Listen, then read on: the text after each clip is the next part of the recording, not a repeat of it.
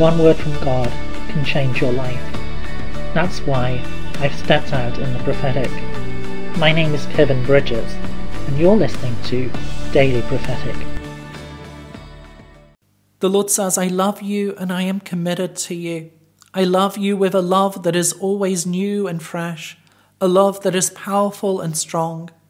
I will not let you down. I will not let you go, but I will draw you near to my heart, and I will show and reveal to you my love.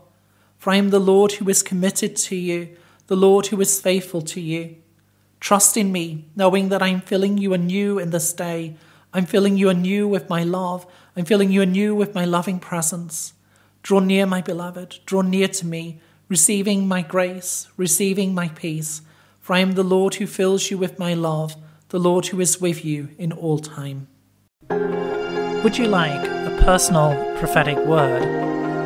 Check out the website in the description below. Don't forget to subscribe to get your daily word of encouragement. And whilst you're here, why not have a look at some other of the videos that I've made?